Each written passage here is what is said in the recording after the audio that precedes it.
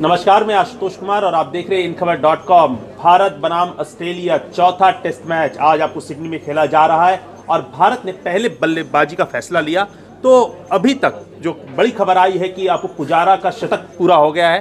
तो कैसा रहा आज तक अभी तीसरा सत्र चल रहा है? कैसा परफॉर्मेंस कर रही है भारतीय टीम आशुतोष जी, भारतीय टीम बहुत अच्छा परफॉर्मेंस कर रही है। इसमें कोई दो राय नहीं है और भारत तो इस समय मज़बूत स्थिति में है। हालाँकि थोड़ा सा जो अभी जल्दी जल्दी उनके दो विकेट गिर गए, इससे थोड़ा थोड़ा सा बैलेंस बिगड़ बिगड़ बिगड़ गया है भारतीय टीम का।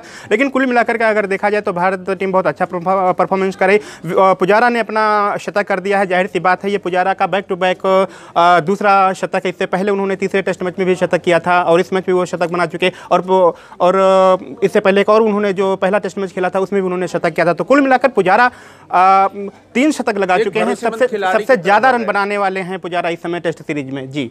तो आपको क्या लगता है आज जो विराट कोहली आउट हुए बड़े कम स्कोर पे चलते हो गए तो फैंस तो काफ़ी निराश हो गए। देखिए अब ऐसा तो कहा नहीं जा सकता कि हर दिन विराट कोहली ही चलेंगे।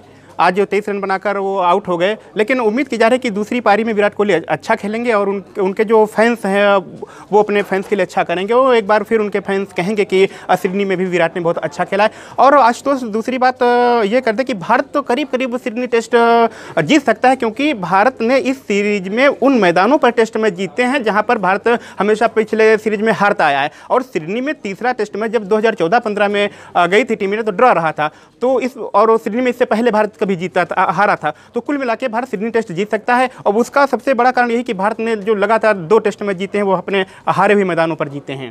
तो जो एग्रेसिवनेस आ चुका है भारतीय टीम में, विराट कोहली कप्तानी में, वो दिखने को मिल रहा है और लग रहा है इस बार जो भारत है, ऑस्ट्रेलिया को ऑस्ट्रेलिया घर में हरा टेस्ट जो सीरीज़ श्रृंखला है, वो कब जीत कर भारत लेकर आएगी। देखिए अभी इसके बारे में कुछ नहीं कहा जा सकता है जब कर, जब तक तीसरे टेस्ट मैच का फैसला ना आ जाए क्योंकि ऑस्ट्रेलिया को ऑस्ट्रेलिया में मार्क देना बड़ी बात है। लेकिन हम दो एक से आगे हैं तो इसलिए हमारी क्योंकि अब हम सीरीज़ हार नहीं सकते।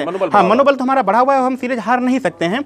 और अगर भारत जीता है टेस्ट सीरीज़ तो निश्चित तौर पर इसका सारा श्रेय विराट कोहली को देना होगा। भारत पहली बार टेस्ट सीरीज़ जीतेगा ऑस्ट्रेलिया में। और भारत उन्नीस सौ चालीस चवालीस पैंतालीस उन्नीस सौ अड़तालीस से ऑस्ट्रेलिया का दौरा कर रहा है तब से भारत आज तक वहाँ पर कभी कोई टेस्ट सीरीज़ नहीं जीत पाया है।